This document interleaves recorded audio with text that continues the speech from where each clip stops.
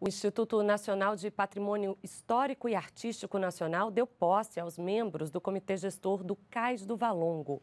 O local, no Rio de Janeiro, foi o maior entreposto de compra e venda de africanos escravizados nas Américas.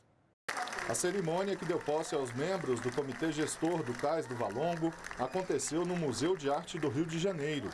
O comitê é composto por 15 membros da sociedade civil e 16 representantes dos governos federal, estadual e municipal.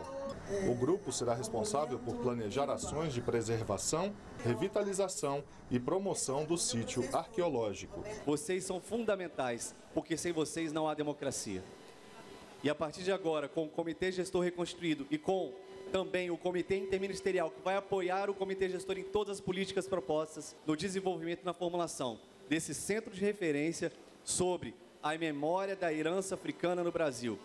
O que será, como será, quem dirá, são vocês. O comitê, criado em 2018, foi destituído por decreto presidencial em 2019. No dia 21 deste mês, o IFAM restituiu o colegiado. Isso é reconhecimento, isso é respeito. E é o que a gente mais precisa. E esse lugar, o que a gente está fazendo hoje, todas essas posses, o comitê interministerial, também é uma prova de respeito, de passos que a gente vai conseguir dar. As ruínas do antigo porto foram descobertas em 2011.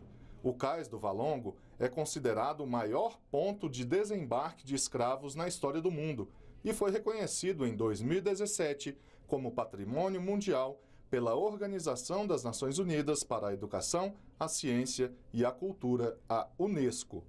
Ao final da cerimônia, a ministra da Cultura cantou em homenagem à memória de gerações de homens e mulheres que sofreram durante um período de 388 anos de escravidão no Brasil.